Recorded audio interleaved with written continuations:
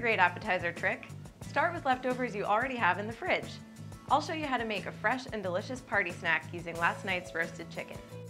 First, using your fingers, shred about two cups worth of leftover chicken breasts into bite-sized pieces. Next, in a medium bowl, make a Thai-style dressing for your chicken salad. Combine one quarter of a cup vegetable oil, one tablespoon of lime juice, that's about half a lime, one tablespoon store-bought chili garlic sauce, and a teaspoon of sugar. Last but not least, to give it a fresh peppery note, grate in about one teaspoon fresh ginger. That's it. Stir it all together. To finish the salad, add in your chicken. And for crunch and color, toss in 2 tablespoons chopped roasted peanuts and 2 tablespoons each chopped fresh mint and cilantro. Give it all one more toss.